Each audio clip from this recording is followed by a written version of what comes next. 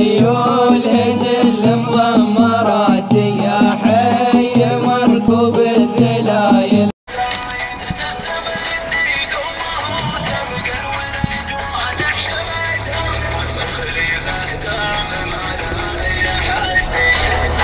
سلطان دولة دعمتها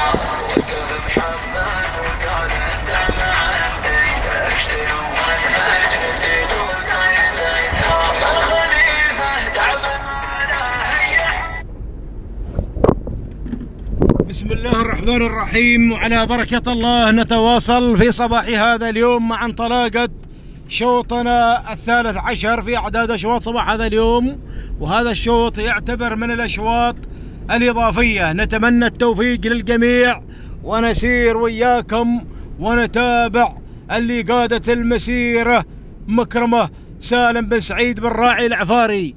من أطلق مكرمة على المركز الأول تليها المركز الثاني لحمد بن محمد بن قرين العامري المركز الثالث. اللي من الجانب الآخر تسللت إلى مقدمة هذا الشوط السيف بن سهيل بن خيرة العفاري اللي هي الشاهينية. المركز الرابع المركز الرابع الوصول في هذه اللحظات من الطليلية. هلال بن عبد الله الوهيبي هكذا الندى هكذا المسار لخمس آه، أربع الأسماء المتقدمة في مسار هذا الشوط. الله! شوف يا الجابري يا أبو حمد شوف لي هذه اللقطة الجميلة. ثلاث أبكار في موقع واحد. وغيرت وغيرت الطليلية. هلال بن عبد الله الوهيبي غير إلى المركز الأول. قدم الطليلية. بالراعي بالراعي رافع رأية الخطورة. بالراعي رافع رافع رأية الخطورة. لكن الطليلية الطليلية مسيطرة. يا سلام!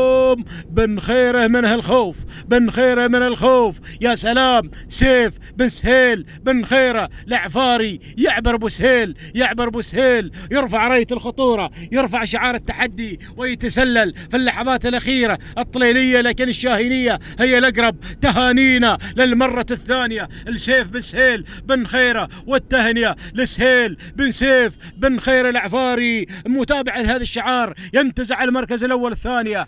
العب الهلال بن عبد الله الوهيبي الثالثة.